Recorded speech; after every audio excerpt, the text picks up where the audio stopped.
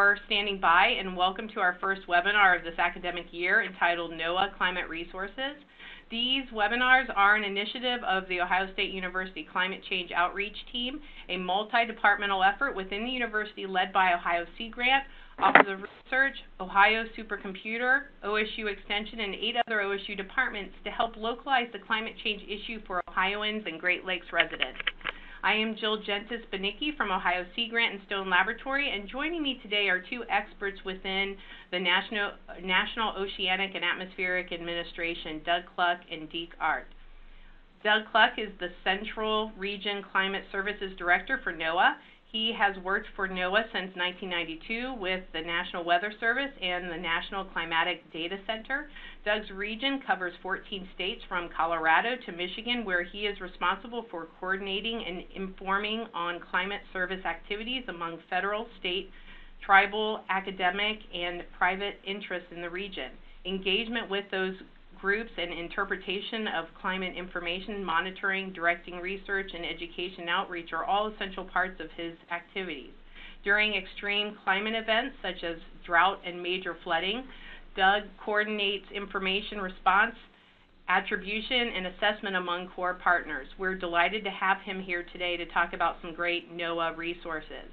Our other speaker is Deke Arndt. Deke has served as the chief of the Climate Monitoring Branch at National Climatic Data Center since 2009. The branch is responsible for routine and special reporting of the status of the Earth's climate system from large global phenomena like global temperature changes to regional occurrences like drought and weather extremes.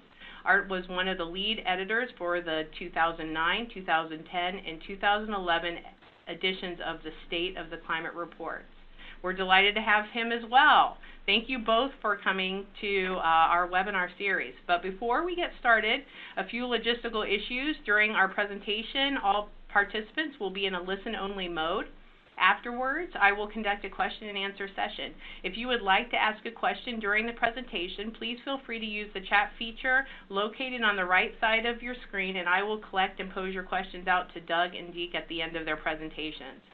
We have more than 200 participants on this webinar, a great diverse group representing governmental agencies, academia, and nonprofit groups from the Great Lakes and around the country. Please keep those questions coming throughout the presentation, and we should have a great Q&A session.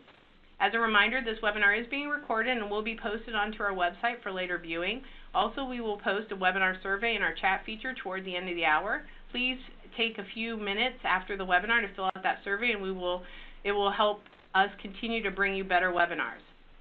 So without any further delay, I'd like to introduce Doug Kluck from NOAA, who will present What Are Regional Climate Services? One Perspective. Doug?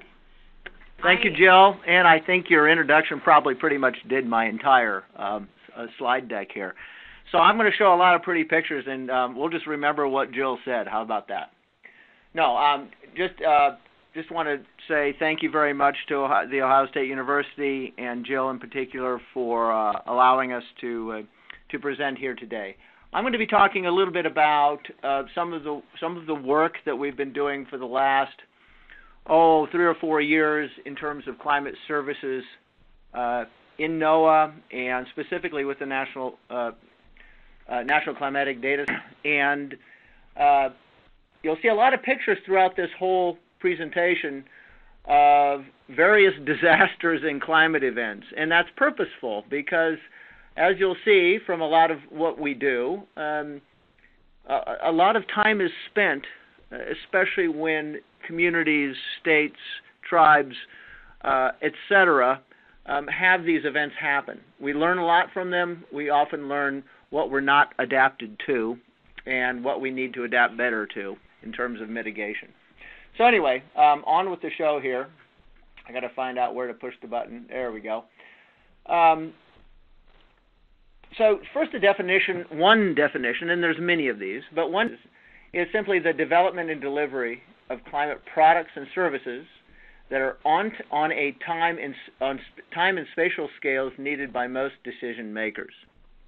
And that sounds pretty simple, maybe at, at, at you know just uh, on the surface, but really there's a little more to it. And and as you'll see, there's a lot more depth to uh, providing those that types those types of information.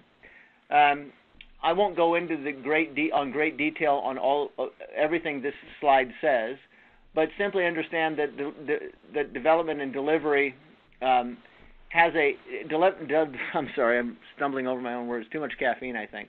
Uh, development and delivery, products and services in time and spatial scales, as well as decision makers, are things we're going to touch on later in this uh, slide deck. Oops. So some of the fundamentals that we've found to be sort of true, I guess, across um, at least the work that I've done, is that to do climate services on a regional and even local basis, uh, there are some, I, I guess, uh, truisms, if you will, on things that w- we have to keep in mind. And one of those is to maintain and evaluate our, uh, the relevance of the information that we provide. And that takes uh, sort of understanding what is going on, not only currently, but what has happened in the past and what may be happening and what people are worried about in the future. So you need to be, we need to be, in touch with uh, what matters to the various constituencies and sectors. Um, we also need to take an approach, uh, an iterative approach with those sectors and with those uh, those concerns, and and try to stay away from the sort of one-off "we're done, we don't need to come back to uh, come back to that particular issue or or sector again because we've covered it." We also need to stay consistent with our um, not only our uh, our messaging, but we need to let people know that we are here, uh, no matter uh, no matter what the situation is. And I'll show you some examples of how we tried to do that a little later. Um, there is a there is a factor of being reliable and trust, building trust as well, which are which are key in terms of people actually listening to anything you have to say. Um, the other thing I'd like to stress is that we very much work across time scales. Uh, we don't work at the we don't always work at the the 20, 50, and 100 year time scales in the future. We often work and uh, we often work in the past, present, uh, and um, when we look at projections and predictions, uh, everything from two weeks all the way out to 100 years, and often is the case with many sectors, especially on the private side. Um, that they are concerned most about what is going to be happening, for example, in the next growing season or you know what's going to happen in the next uh, next month or two. So it's important for us from a service point of view to recognize those those needs as well. Um, again, kind of focusing back up on uh, the maintaining and eval- evaluating our relevance. There's the problem-focused approach, understanding the place and history in which you are. So, in a particular basin, you may have a history of flooding. You may have upstream, downstream contentions. You may have many different uh, issues going on. It's good to know that before you walk into a, walk into a, a meeting or, or, or walk into a, um, um, some sort of engagement with the private sector. We also try to avoid reinvention and build on relationships that have already that already exist and uh, and, and seem to be working. Uh, that takes time and experience being in a particular region and having people that uh, you trust uh, to to to rely on telling you those things. Uh, finally, that or not finally, but another uh, another kind of fundamental is uh, we we at NOAA and maybe even we at the federal government uh, can't do it all alone. It's very important that we work with uh, many different constituencies to solve problems. In fact, much of the time we are an information source for them to solve their own problems. We don't necessarily say, "Hey, we can we can solve every problem that you have. Just invite us to the table." But we we try to share that type of information that seems to be relevant to the particular issue at hand. Um, leveraging partnerships and networks is a key element for success. It kind of fits back into this joint solutions, but um, we, as you're going to see in a, in a couple slides, there are many many different groups that we work with and different constituencies. And again, we could not do the kind of work that we do without them. And then finally, recognizing capacities. We all have we all have limits, even though we don't like to admit them all the time, on time funding for sure, uh, our experience, and even knowledge. So it's important to know what you, what you have to work with in your particular region, and that again, many of these things are not something um, you learn overnight. It takes time and sort of immersion, if you will, in the in those sort of local and uh, regional issues. Oops, I keep clicking like it's a regular PowerPoint. So here are some of the key services that we provide on a very, very broad scale. uh, monitoring, and, and I'm going to leave this up to uh, to Deke to talk about, but monitoring can be anything from uh, well, I'll just let Deke talk about that, and because um, he's much better than I am. Um, the other thing that we deal with a lot is data, not only the instrumentation of, of data and putting uh, actual uh, um, sites to, to measure the atmosphere and such, but the collection and databasing, and, and I, I guess the other thing I left off there is the availability of that data. That's one of uh, NCDC's or the National Climatic Data Center's strongest suits in terms of having information available uh, to inform adaptation or to, to inform um, to, to inform decision makers. And then the prediction side is another part. We don't actually do the interpretation, or we don't actually do the prediction, but we do the interpretation. And a lot of that is place and sector based. And a lot of it, it goes well beyond the uh, well beyond the prediction, the, the, the classical predictions like from the Climate Prediction Center. Uh, we value add based upon the current situation in a particular region. Uh, at least that's what we try to do with our partners. Uh, outreach is a kind of continuing and a, a daily uh, issue, um, informing decisions and making uh, information accessible to them, uh, building capacity through education for understanding what the heck we're even talking about, and speaking at a level in which people can understand and then um, trying, you know, from the research side of the house, not that we actually do a lot of research, but we certainly try to steer those folks in the sort of the applied climate and in other uh, areas uh, in the right direction in terms of uh, what we hear in, in terms of need. And then finally, finally, uh, linkages back to how uh, leveraging networks and knowledge and and resources across the region is is a key, I, I guess, service that we provide. In other words, who do you con? Again, I don't necessarily have all the answers for everything, but I often know who does, and that is, I guess, uh, uh, one of the services that we provide. so who are who are we? Um, when I say we, it's not just these six people, but let's say that these six guys uh, and, and, gals are the bedrock of the regional climate uh, service uh, uh as it stands today in within the National Climatic Data Center. Um, we have people covering the entire U.S., and you're more than welcome to reach out to any of them on any particular issue. In fact, they'd love to hear from you. Um, if you need their contacts, you can contact me, or if you know them, um, feel free. We also work very, very closely with the regional climate centers.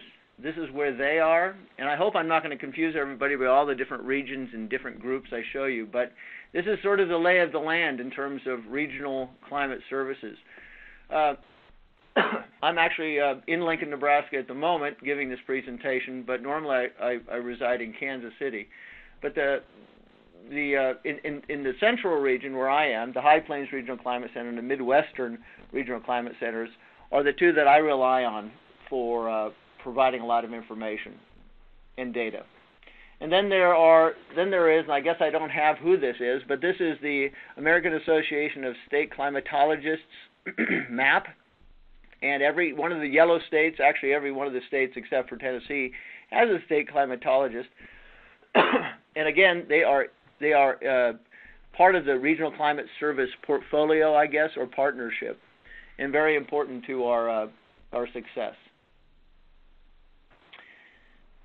Uh, I also quickly want to mention the NOAA regional collaboration groups. These are groups within NOAA that try uh, that that work very hard to get other parts of NOAA to work with each other, and those groups I just showed you in, uh, before that, as well as others.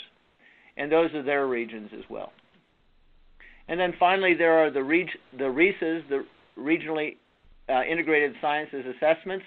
Uh, you'll see that much of the region that the central region that I'm in um, actually doesn't have that except for the Great Lakes and far to the west in the Western Waters uh, Assessment Group. Um, uh, but we're working on that to uh, enhance those. So these are all groups. This is a NOAA-funded group, as uh, I should say, as are the uh, hype, uh, as are the regional climate centers. And in terms of key federal partnerships, you know, first I'm going to apologize. I'm only going to show a, a few of these, but these are sort of um, the ones you I'm sure many of you have heard of before that uh, that are very sort of focused on climate-related issues, and some and again, again groups we rely on a lot for information and direction. But there's the landscape conservation cooperatives uh, under DOI. Sorry, there are the uh, uh, climate science centers and again, I didn't. I guess I didn't put the uh, actual uh, name on these. The climate science centers, as well as the uh, um, U, the new USDA Ag Hubs. Um, all of these have very very strong climate-related programs associated with them, and we all have uh, sort of niche niche parts in our uh, in our work, and it's a great collaborative with all the federal agencies that we we work with.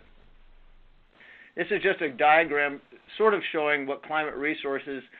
I don't have all the states, tribes, urban, and academic groups, but it does give you sort of a round out picture of who we deal with and what we deal with in terms of federal agencies. So here, the next part of this presentation is going to be some of the examples of uh, some of the, I guess, um, things that we've done in the last few years in terms of uh, products information, I guess you could say, uh, important for, the, for, for at least the central region. One thing that we do is a monthly webinar to sort of update folks on the latest, uh, to summarize the, the, the latest climate um, information as well as look at the future in terms of season, mainly from a seasonal point of view. We don't uh, we don't we don't monthly look at climate change uh, issues too much, but most of the time it is uh, issues particular uh, to uh, to flooding, drought, uh, uh, and, and, unusual climate events, and give some heads up or early warning to um, potential issues in the in the future. a number of presenters, a number of presenters and partners help us with these, including the state climatologists, National Drought Mitigation Center, regional climate centers, USDA, and LCC, LCCs. It's been a very popular uh, series, kind of like this one. Um, I guess this is a little bit more about these webinars, and actually, I I did put in um, how you can link up to them. They're once once a month. They follow the Climate Prediction Center's uh, predictions, I guess you could say, every third Thursday of each uh, month, and these were started as a as a sort of response to the 2011 flooding in the Missouri Basin, when there was a lot of concern about 2012 spring being just as wet and just as damaging, and having infrastructure issues. There was a lot of a lot of worry up and down the Missouri Basin, and so we thought that we would you know provide whatever information that we had to uh, to help with that situation. Okay. Uh, the other thing that we publish, I guess you could say, is uh, across the country, are the quarterly subregional climate summaries and outlooks. In this particular case, for the central part of the uh, central part of the U.S., we do three. We do one for the Midwest, we do one for the Missouri Basin, and we also do one for the Great Lakes. All these are fabulous uh, collaborations with a number of different entities, and in case uh, in the Great Lakes case, we actually uh, work with the government of Canada to produce a sort of cross boundary, if you will, uh, view of the Great Lakes region and basin.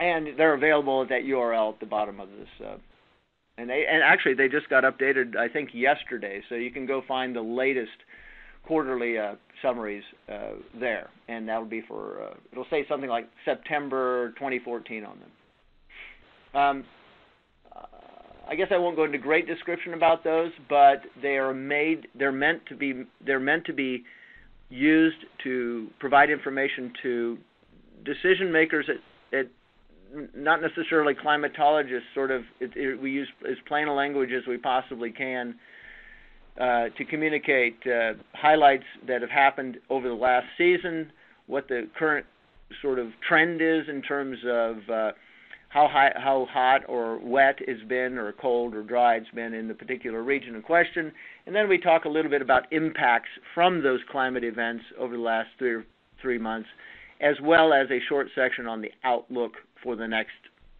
next three months for that particular uh, region. One thing that we are soon going to be putting online is, and it was developed uh, again uh, within the last week or so. This was finished, I should say, for the same three areas: Missouri Basin, Great Lakes, and uh, Midwest. Uh, is the uh, is sort of an El Nino impacts and outlook uh, summary, if you will. Every time there is an El Nino or La Nina, for that matter, we tend to get quite a few questions about what that means for us. And this is one way of sort of uh, alleviating or, or teaching or educating folks about what it does mean. It, there's a myth busting section on the back. P- people assume that El Nino means something where it may or may not. Um, so we use. So we'll be distributing these soon, is what I would say about that. We'll try to, if anybody's interested in that, we'll try to make sure that uh, they get a copy or find a URL to them. Um, we mentioned this uh, a little bit earlier in terms of assessing and uh, attributing, and um, Marty Hoerling was actually on this particular webinar series talking about how they do attribution to uh, particular extreme events. Here's two cases or two examples. Uh, the one on the right is the uh, ex- uh, is in response to the 2011 Missouri River Basin flood, and it is an attribution of what caused that. Uh, what caused that? And they do a, they do sort of a uh, a study, if you will, to understand if it were how much basic climate variability versus uh, climate change versus random um, particular events are. And the one on the left is for the drought. The following year, after 2011, was 2012 drought um, on the heels of the 2011 flood. There are other ones too. Again, there are uh, places to go and find these. I, I, included the URLs in there in case you wanted to uh, see them yourselves. And there are longer reports for both of these. This is something that's again going to be coming out uh, in the next week or two. Uh, thanks to our part, many partners, but mainly the National Drought Mitigation Center for uh, actually putting it together and doing doing yeoman's work in contacting the 14 states. Uh, this 2012 drought assessment is mainly for this particular region. Again, that's uh, the what we call the central region or the north central, if you will, part of the U.S. We also do an incredible amount of uh, engagements and interactions, whether it's on the phone or in person. This is something that happened actually last week in Rapid City. It was a it was a uh, nationally national integrated drought information system sponsored, which is part of NOAA, uh, NIDIS, part of NOAA, um, that looks at drought and, and climate extremes, if you will, or climate events, and tries to help or organize uh, uh, information for different groups in different areas of the U.S. And, and in this particular case, it was the Missouri Basin that we're focusing on, and um, the 28 tribes in the basin themselves. And so uh, we had a very good turnout uh, at this meeting with some of our, many of our uh, uh tribal partners, as well as federal, state, and um, and academic. And those, there they are. So anyway, that's a, a, an example of the type of interactions that we do and engagements, and usually leads to really good things. Uh, a little bit more about NIDIS, I guess. Uh, we also held a meeting uh, in February, more of a kickoff meeting for the Missouri Basin in terms of uh, um, um, in, in terms of uh, drought early warning systems and um, planning for drought and mitigating drought. And this was a, a, I guess you'd say, a kickoff meeting for for NIDIS in the Missouri Basin. If you want to, there's another link there if you want to get a uh, copy of this particular item. There are the NIDIS pilot areas in case you were wondering where they are, and uh, just wanted to show that to you. Uh, the main one in the region that I work in is the Missouri Basin pilot, which is just underway.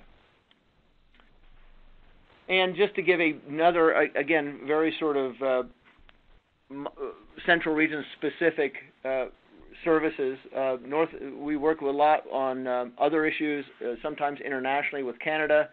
Uh, the North American Climate Services Partnership is one of those. We work closely with federal agencies. We have created a Missouri Basin Climate Collaboration, federal climate collaboration. There's also something like that in the the Midwest. Um, obviously, lots of national climate assessment type information gets disseminated uh, through us, if you will, and um, always always doing a lot of information delivery via interpretation and uh, synthesizing per audience. And I, what I mean by that is, um, if you're talking to a group of agriculturalists uh, uh, at, the, at, at let's say the producer level, you'll say uh, you may say you you may direct your your presentation in, in a very different way than you would um, being talking to a, a number of urban type folks. and that's about all I have. I don't know. Um, am I over time? A little bit over time. Sorry about that. And more disasters here um, to talk about. Most of these, um, all of these, are in in the central region. But thank you very much. Thank you, Doug. Uh, this a great presentation. We have some great questions, but we'll hold off on those questions until the end of uh, Deke's presentation. Uh, so now I would like to uh, introduce Deke Arndt from the National Climatic Data Center, who will be presenting NOAA's climate monitoring services. Deke, you have the ball, and you should be all set. Thanks a lot. Um, uh, hi, everybody. I'm Deke Arndt. I am a small part of the climate monitoring branch uh, here at, uh, which is a small part of the climate monitoring that goes on at NCDC, which does some of the climate monitoring for our parent agency NOAA which does some of the climate monitoring uh, around our country. So, um, as Doug mentioned, um, when you get involved in climate services, you you have to get involved with a lot of partners. So, I'm going to speak uh, more towards uh, the National Climatic Data Center or NCDC's efforts in climate monitoring uh, and and what we do and some of the philosophies that we take, and hopefully along the way, some of the products that you might be able to uh, use yourself uh, in your in your work or your research. All right, so hopefully I'm doing this right. So, quick commercial for NCDC, wonderful place. Um, uh, uh, we work with a lot of people that I adore uh, on climate monitoring and just taking care of all the world's data, the world's weather data that comes in to this building. So, when you see the weather person uh, the weather map with the numbers and the observations on it, eventually those numbers end up here in Asheville um, in, in one of the that, well, actually the world's largest uh, meteorological and climatic data center. Um, so we've been in the Asheville area since the middle of the 20th century. Okay. Um, so just quickly, you know, Doug mentioned uh, he, he had so many different types of climate services to mention. I'm going to focus on one, climate monitoring, um, and what exactly is that? And kind of simply put, if you think about a baseball game, climate monitoring is a combination of the scorekeeping, um, the play-by-play, and the analysis and kind of statistical analysis of the climate system. So when you think about a baseball game, you think you know to do this, you, you've got to know the game. Uh, you know, and, and people when they sit down to watch or analyze a baseball game, they have varying needs. They either want to hear the play-by-play, they want to hear the analysis, they want the stats, or they just want to know the score. And monitoring kind of tries in for the climate system to do that. So um, what we'll talk about in the next 12, 15 minutes or so are just some of the ways that we try to address these needs um, that are listed on here. How how how do the numbers reflect the overall game? Uh, what is the score? What are the statistics? Where is the ball? um, that kind of stuff uh, with the climate system. So uh, I'm going to talk a little bit about kind of some of the spectrum, the tensions. Um, so in a, in a climate monitoring as a service, we serve both a science type function and an assessment type function, and a decision support. You know, real people using real data every day to help analyze their own business practices, and we we try our best to support these two different communities and all of the communities kind of in between. And we um, this will come out uh, in the products and services that we highlight. Um, but there's a, a real need for the quickest data possible, but there's also a competing need for the most precise data possible. And these types of decisions that that we face on here, and Doug mentioned the spatial scale and time scales and and how we get these observations. And these are the kind of things that we try to integrate in a climate monitoring service. So, uh, with that said, we'll jump straight into uh, kind of what we do. So that first ten, uh, that first tension was the needs of our climate science, and then the needs of our larger economy. Um, so we support both of these. We're going to focus on the second. We'll kind of uh, go quickly through the how we support the science. Um, but climate monitoring helps with verification and assessment of the state of the climate. Um, how do we? How is the climate system evolving over time? Um, what kind of uh, climate variability and climate change and just climate features themselves are occurring on the planet. And it really helps us evaluate, having this validating data, it helps us evaluate what is our understanding of the climate system as well. We work a lot with that community. We won't focus a lot on that today. We'll focus more on our products and services that go out the front door towards the larger economy. And we help hopefully support decisions and analyses out there in the real world. So how does, uh, you know, it helps the market better understand how climate is affecting their own spreadsheets. So when they take our numbers or our analysis and compare it to what has happened um, with their business, uh, weather is a huge part of our lives. It drives many of the things that we do. It also drives a lot of the economic decisions we make. So the products and services and data that we can arrange and provide to those folks um, is an important driver of, of what we do, and it, it's a big, in, in many ways, shapes the the projects and the products and the services that we work on. All right, moving on. So uh, just the last slide with the science. Uh, one of the, the most fun interactions we have with the kind of science and, and climate assessment community is through uh, the BAMS State of the Climate, and this is uh, an annual report uh, published through the Bulletin of the American Meteorological Society, and it hits dozens of what are called essential climate variables um, kind of all over the world on land, in the air, in the oceans, in the in the frozen parts of the world, and really assesses how is the planet's climate system evolving. And this fits within a number, a larger body of these types of assessments, like the National Climate Assessment and the uh, IPCC. This is kind of the um, annual physical of the climate system that informs those even larger uh, assessments and is available um, at the URL provided right there. All right, so that is uh, as much as we'll talk about the science, and now we'll talk about what we call operational climate monitoring, which is about um, compiling information that helps people understand what's going on around them in the climate system. So, um, putting up a, fi- a fictional story, if you were to read through the bullets on these on this story, you know, starting out with I was driving at a certain speed, 41 miles per hour, that is a fact. And with but without those other bullets, it really means nothing. And if you read down as it builds context, this story, this particular story gets a lot more horrible as you go from top to bottom. But all of those facts together provide the context for what is going on. And climate monitoring uh, faces a similar st- struggle. Um, so transitioning and keeping this story in mind, where um, I was clearly driving at a speed that was measured. Um, that speed could be compared to some sort of baseline speed, the speed limit in this case, and then some of the impacts and context of what was going on in this story. Um, they they basically taken together mean a lot a lot more than they would individually. So the climate monitoring the climate is the same way. So if I were to tell you that the first eight months of 2014, the annual global temperature was approximately 58 and a half degrees. It would not mean a whole lot to a lot of people. But if we were able to add some context and say, well, based on uh, what we know about the 20th century, this is about uh, a little more than a degree Fahrenheit warmer than the 20th century, then you at least now know that we're on the warm side of history, uh, at least the 20th century.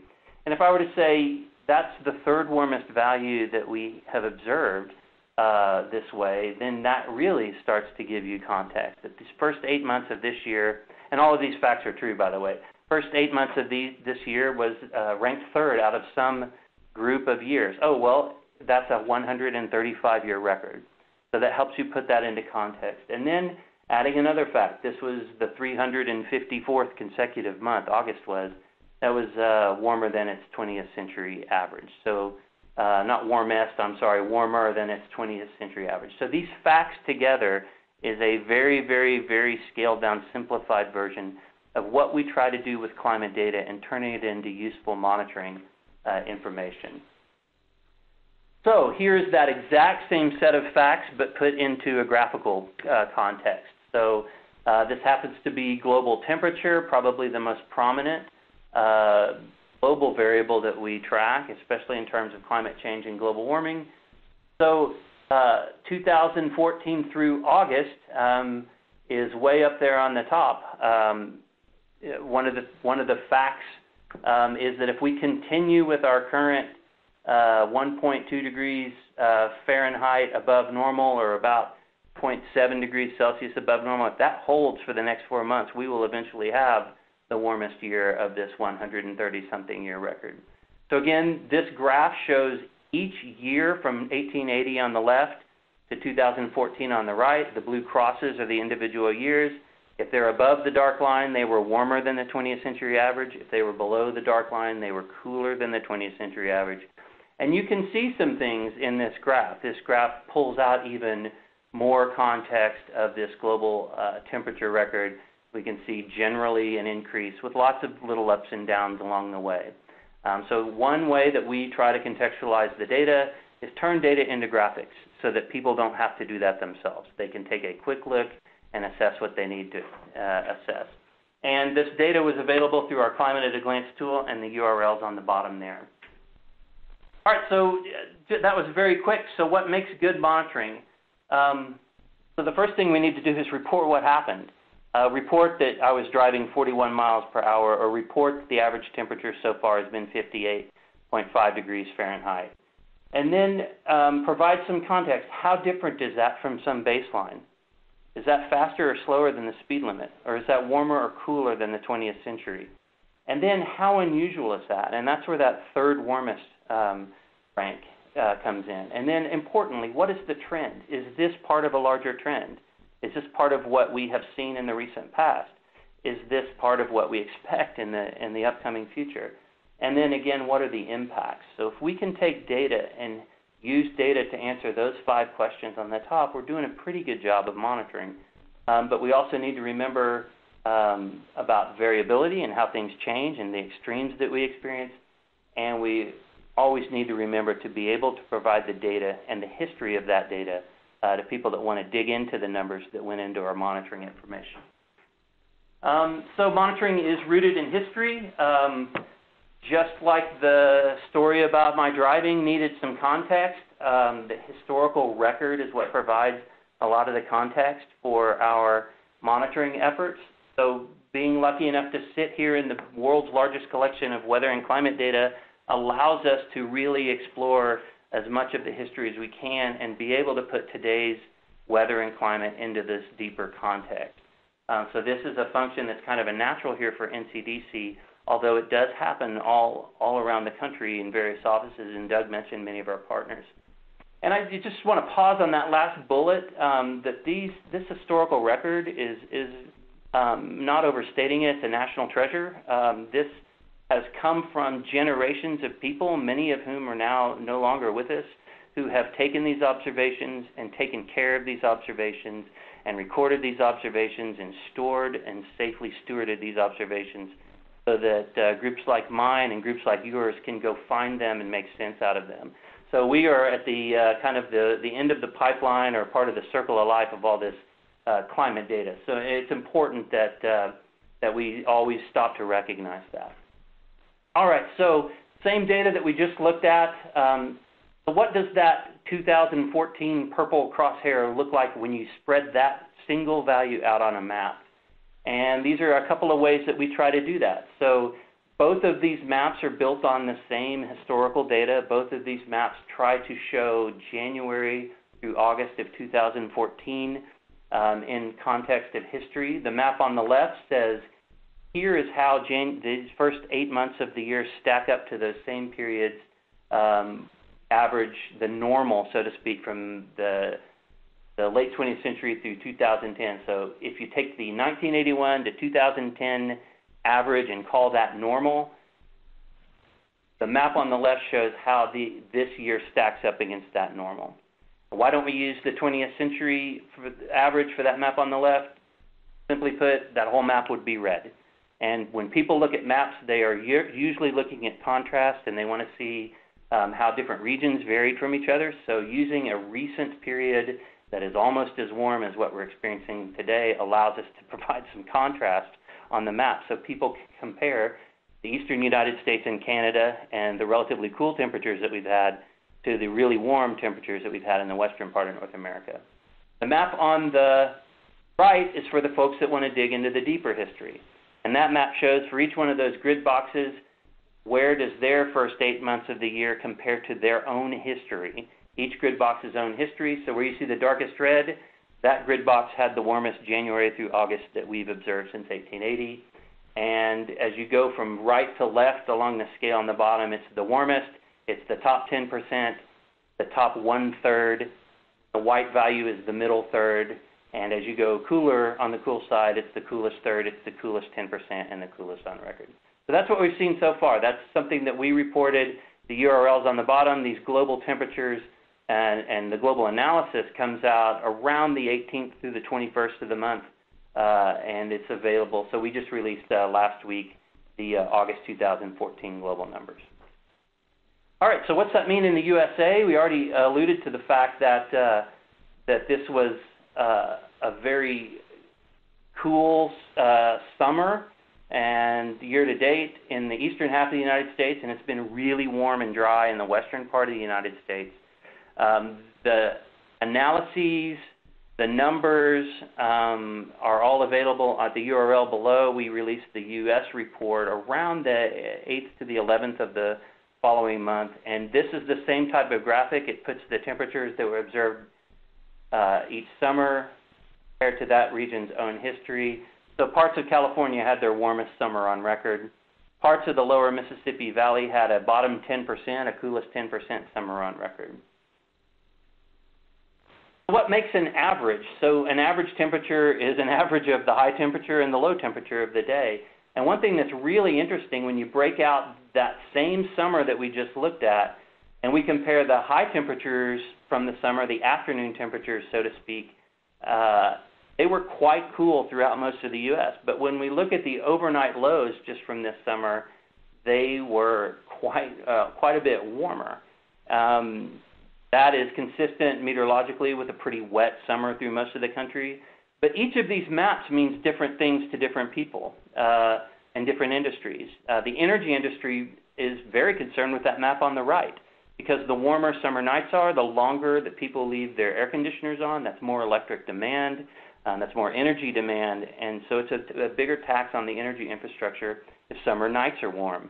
Um, it's also, uh, if it's very warm, pretty hard on agriculture. Um, on the flip side, the, the afternoon temperatures were delightfully cool throughout much of the Midwest and, and the Mid South, um, and the uh, the corn crop is is coming in uh, great this year because there was not a great deal of, of heat stress on that crop. The afternoon evaporation demand wasn't as high, so um, again, breaking out that average temperature into two different pieces that mean different things to different industries is part of our responsibility that we try to meet each month.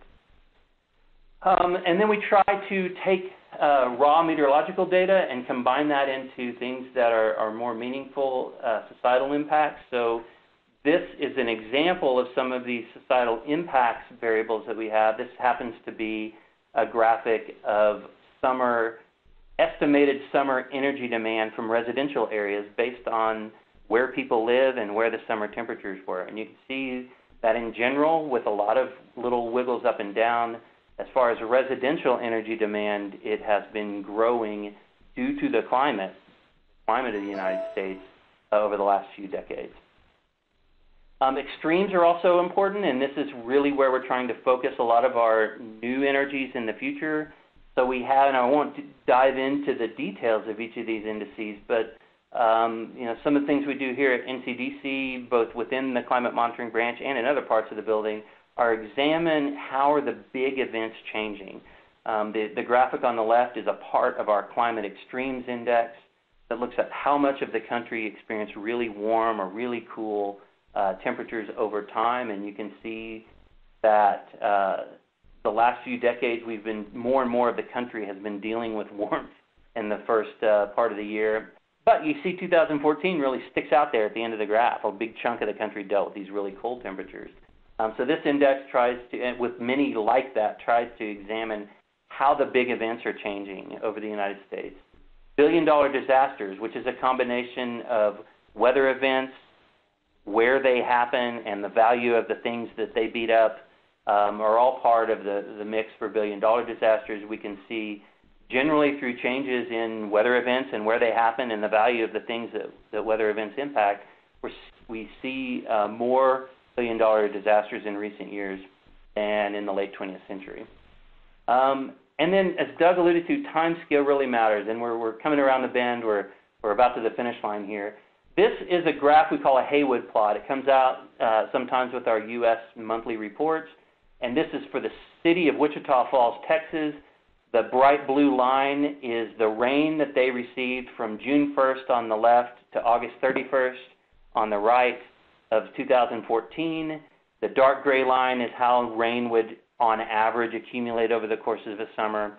It was actually a pretty wet summer, slightly wetter than normal summer. Uh, 2014, that blue line riding above the gray line for much of the summer, meaning they were ahead of the curve. They were wetter than normal for much of the summer, and that's great for the fire people. And the the uh, but if you look at the year to date, that wet summer took place in context, um, followed some really dry months, and so for the year to date that wet summer hasn't caught them up to normal yet. You can see the blue line 2014 uh, still not up to normal, about four inches below normal uh, for Wichita Falls, and then time scale really matters.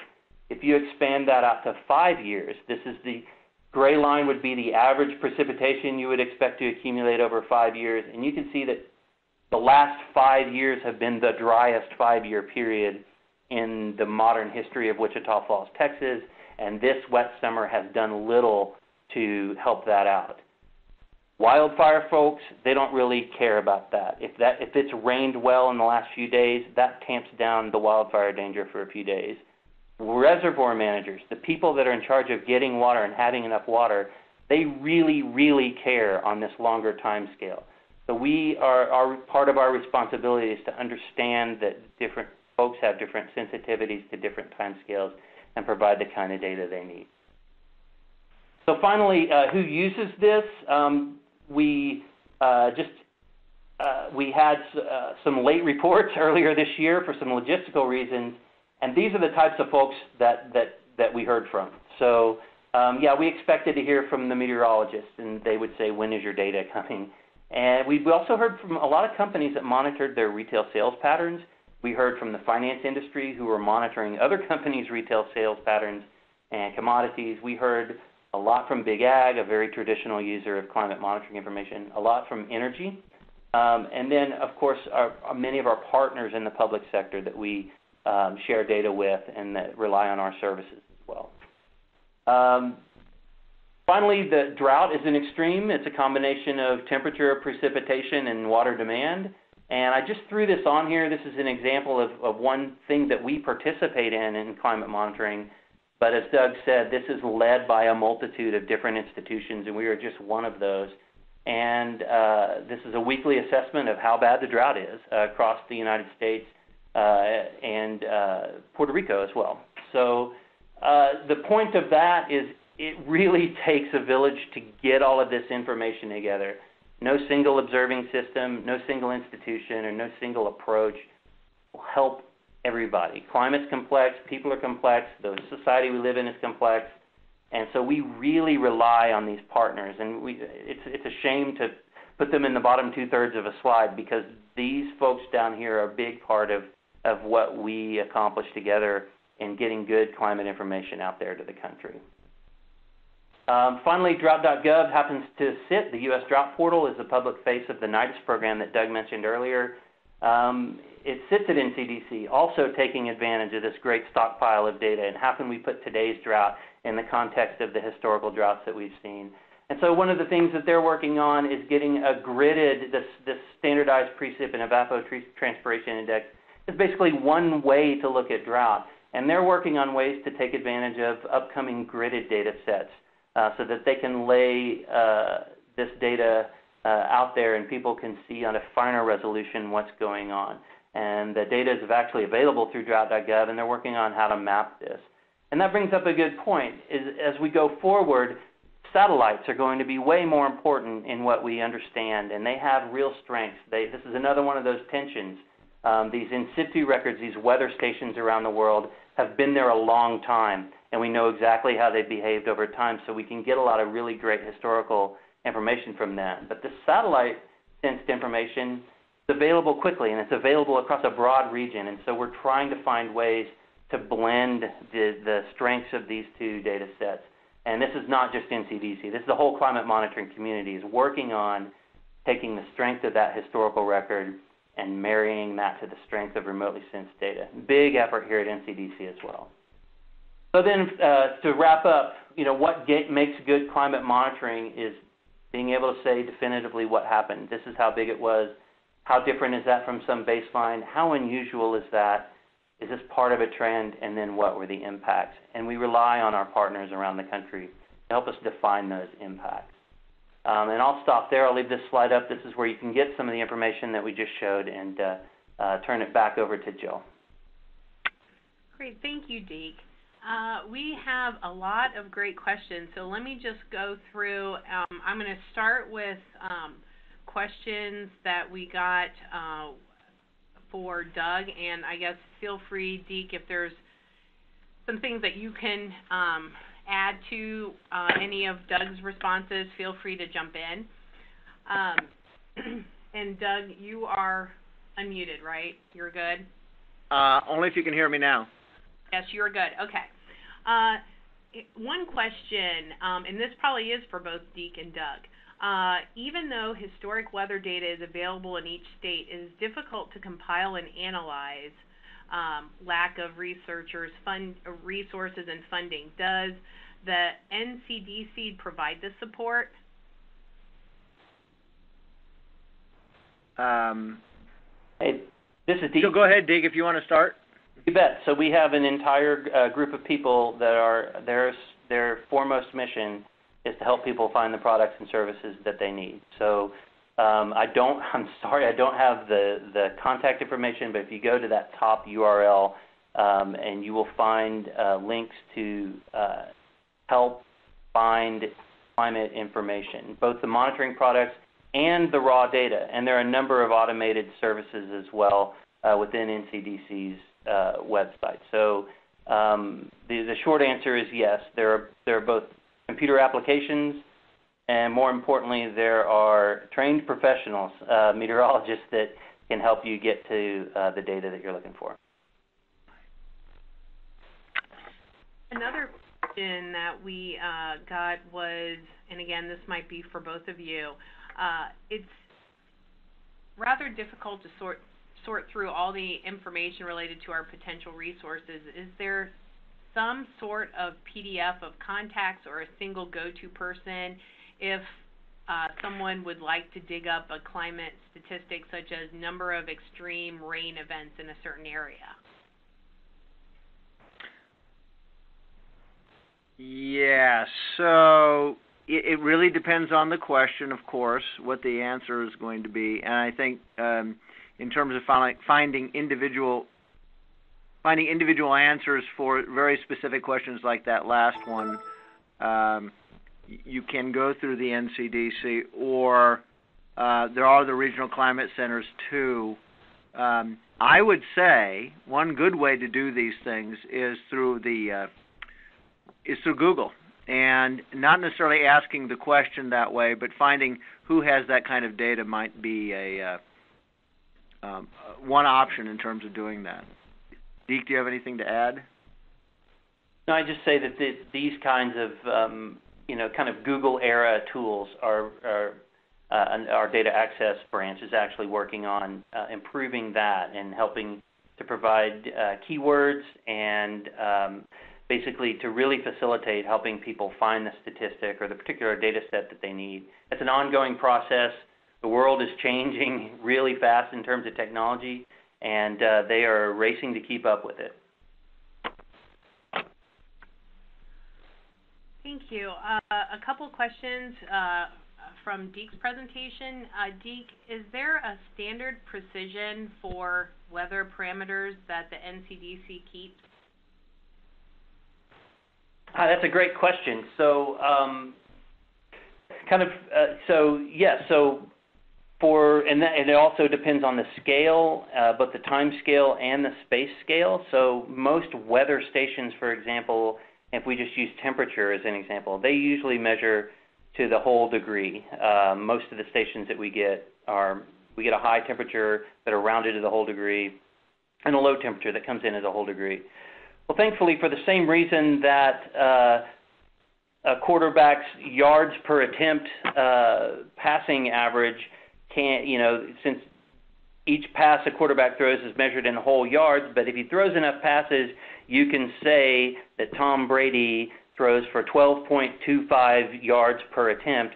You can do the same thing if you aggregate enough um, weather data as well. So for national averages, for the for time scales as large as a month or larger, we will go to a hundredth of an inch. Um, for these smaller regions, for states and parts of states, we feel confident rounding to a tenth of an inch. Again, because we know we have lots of stations reporting over many days throughout the season, and we're able to um, make more precise averages for those areas. For a single station on a single day, we're not going to uh, not going to do that. But for lots of stations over a long time with many observations, we can use the power of that statistical uh, central limit theorem to, to come up with these decimal values. Thanks, Deke. Um, there, uh, we've had a couple of questions dealing with what the National Weather Service provides and what uh, the NCDC provides. And there was one example um, that maybe I'll just ask, and you'll be able to answer, I think, probably generally to hit a couple of the others. Uh, our local National Weather Service office says that there is normally about 20 90 degree days locally, but the NCDC database shows about 13 90 degree days as of the for the 1981 to 2010 average. Who's correct? So one of the things that happened with the Weather Service is um, in the middle of that 1981 to 2010 period, they really modernized a lot of of their equipment, and during the course of that modernization, some of that equipment moved, and so uh, NCDC's um, values that are calculated take that into account when when we do have interruptions in station data like that. We have algorithms and methods and techniques that we study and publish and then use in order to um, come up with uh, these average values that more accurate or more from a climate perspective, more thoughtfully approach the whole 30-year period and what we would have seen if the new station had been in place the entire time. And that's part of uh, just the the profession of applied climatology is learning how to take these uh, weather data from stations and how to turn them into useful and accurate climate information. Thanks, Deke. Uh, I, I would like to do ask three more questions if the both of you are game. It is one o'clock, so I just want to double check to make sure you're okay if I ask three more questions. You bet. Great. All right. Thank you. Um, one question that we had was, well, we actually had a couple dealing specifically about um, where they can get this type of information. So let me just ask one. Um, which website or graph is best? Sorry, hold on. Um, I've lost it now. Oh, sorry. Um, which website or graph is best to see how bad last summer drought and winter cold were in our area? This is from someone who is in the National Park Service that uh, uses your information. She said specifically she had a hemlock she had hemlock trees that turned gray and then died over the winter. So it'd be great she knew which where she could get that information about last year. Deke, that sounds like state of the climate, right? Yeah, you bet. So there's a couple of resources. Um, Doug mentioned these monthly state of the climate reports, um, and that is uh, available through uh, the, the monthly reports link there. So there is a specific monthly write-up of the drought uh, phenomenon in each of those uh, monthly reports. Um, there's also data uh, that uh, are associated with it, and you can kind of get to that drought data through the Climate at a Glance tool. That is the, the fourth link on this screen right now. Um, so, from a narrative standpoint, from just a, an expert's assessment, those monthly reports are good. They have links to a lot of data. The Climate at a Glance will provide access to um, various drought indices, you know, that you can kind of zoom into uh, parts of your states, and then uh, and we developed that in collaboration. Uh, some of the tools that are in part of that Climate at a Glance with the with the U.S. Drought Portal uh, that works uh, right in our branch. And then finally, I wouldn't discount the the monthly U.S. Drought Monitor, which each Thursday comes out as an expert assessment of the severity of the drought and they keep a, an archive of uh, all of those weekly assessments. And you know, we're again, just like Doug alluded to and I alluded to, this is a community of agencies and institutions that work together every week with hundreds of experts out in the field, you know, that are experiencing drought and reporting conditions and impacts there. So that weekly drought assessment, uh, each of the categories, D1, D2, D3, D4, those are uh, tied with a, an unusualness or how often we would expect to see a drought this severe. Um, so if you do go to those uh, uh, weekly assessments, they keep them online. You can you can go back all the way to 2000, and you can kind of see how the drought evolved, how uh, a community of experts assessed that drought, and how severe it was as well. Great, thank you. Um, Another question, uh, we do a lot of summarizing extreme precipitation events to construct return interval plots. But often the individual extremes are flagged in the records as outliers. What are the criteria that the NCDC use, uses to flag events as outliers? Hey, this is Deke, and I'll take that as well. And um, I'm going to give you a, a, a general answer on this because I, I, I haven't been directly involved in the in the quality assurance process.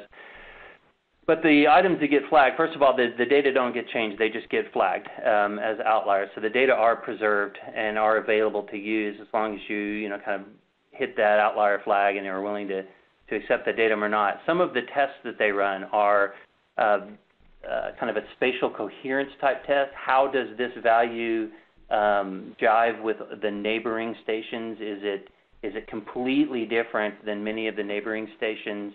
Uh, if so, that might trigger uh, a flag.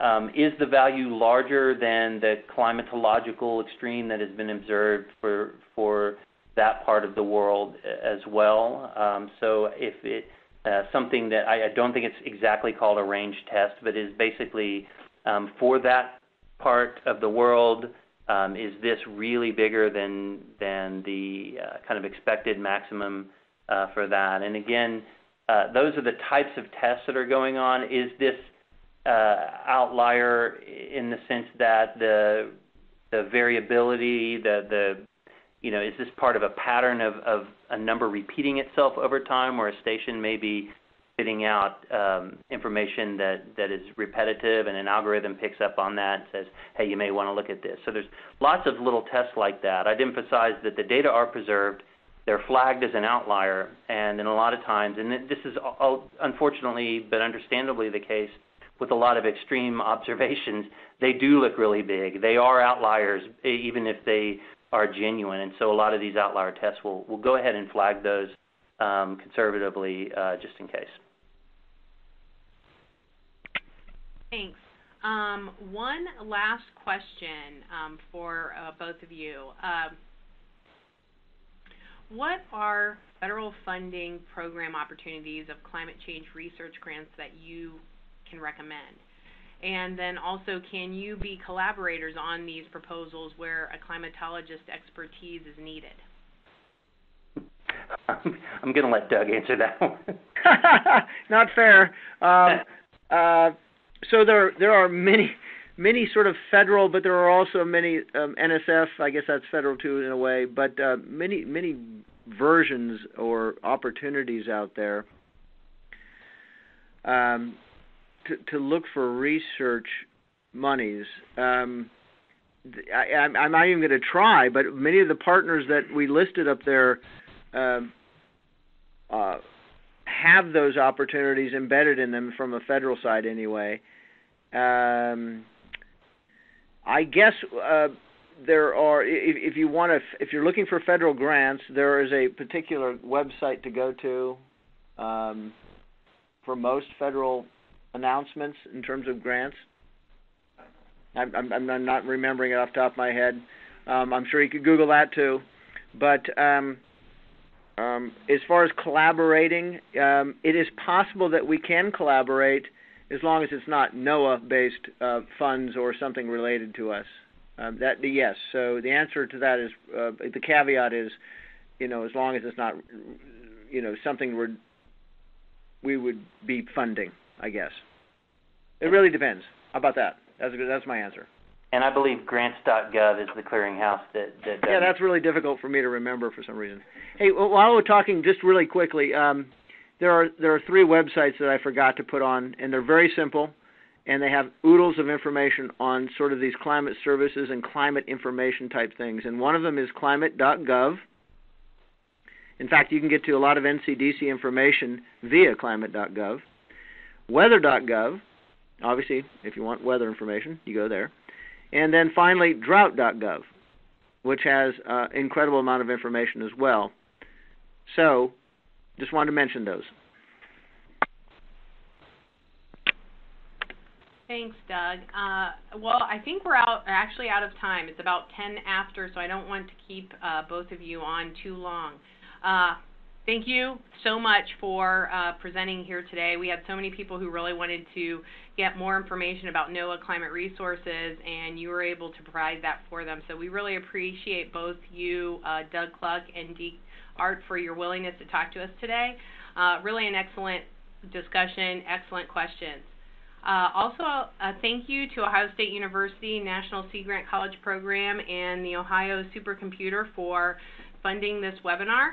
I did want to remind everyone that our our survey URL for this webinar is in the chat feature, so please uh, take a few minutes to fill that out. I also wanted to refer you to resources and an archive of all previous webinar presentations which are located on our changingclimate.osu.edu site. This webinar series is sponsored by the OSU Climate Change Outreach Team and we'll host the next webinar October 9th with uh, Daria Kluver of uh, Central Michigan University who will be talking about snowfall. The registration is up in the chat feature, so feel free to register now. Thank you again to Doug and Deke and all the participants on this webinar. We hope that this was beneficial and hope you'll join us again in an upcoming webinar. Thank you and have a great afternoon. Thanks a lot, Deke and Doug. We really appreciate it. Thanks, Thank you.